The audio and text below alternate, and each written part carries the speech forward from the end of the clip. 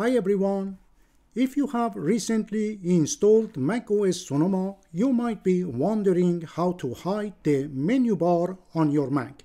Apple has made some changes and moved the menu bar option to the Control Center section in macOS Sonoma.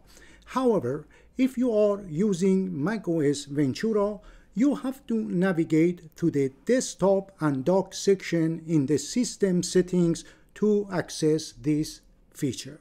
If you need further guidance on hiding or showing the dock and menu bar in macOS Ventura, I have a tutorial video available.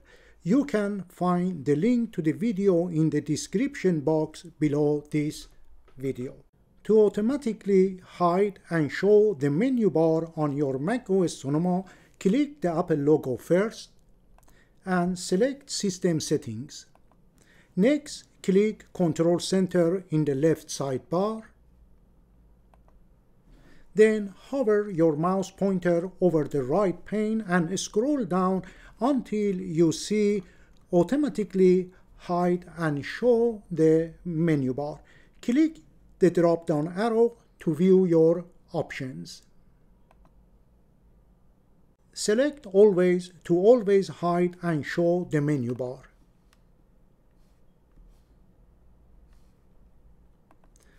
Select on desktop only if you want the menu bar to hide and show only when you are not using an application in full screen.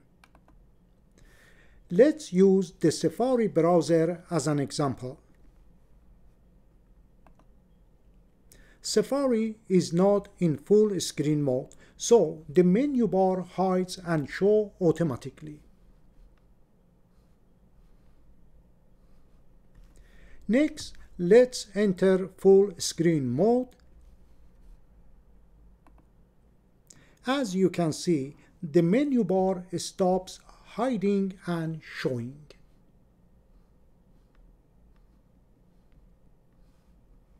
Select in full screen only when you want the menu bar to hide and show while using an application in full screen. As you can see, the Safari browser is not in full screen. Therefore, there is no reaction from the menu bar. Now let's enter the full screen by clicking the green button. The menu bar will now hide and show automatically. The last option is never. When selected, the menu bar will never hide.